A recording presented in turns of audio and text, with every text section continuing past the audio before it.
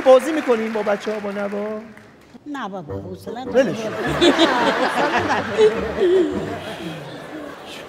چرا اومدی اینجا پس بازی. خوبه. بازی. آره دیگه هر کی کودک درون داره دیگه پلیستشن بازی می‌کنی پلیستشن نه مثلا بازی پانتومیم نمی‌دونم مافیا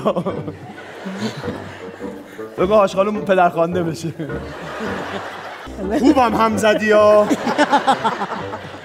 یه جوری هم زدن هاش خانم تا نگیره. آه اسمشو نگو. آه، چی بگویم فوت می‌کنن باد میشه یک چیز هست که باد فیت می‌کنم باد باد میشه. کنک باد کنک باد خودش هم گفتی اشکال نداره. راحت باشه. هر جور دوست داشتی بگو.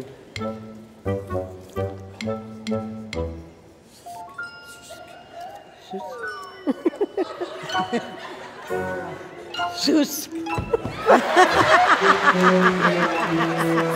چیه؟ آفرین سوس. باری کلا. خوب رو نمایی کردی ها. آج خانم چجوری فهمی؟ شما گفتی سوس. ایشون هم گفت سوس. سوس.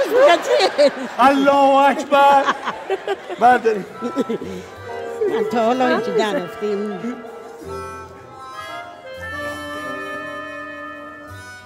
چیه که رنده رنده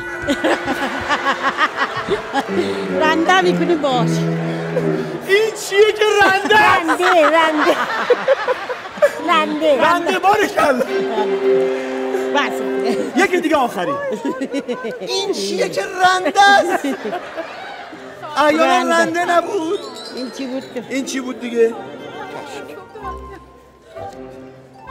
کشک کشک خب بگیم کامل کشک درست بودی چکار بودی خب وای خدا.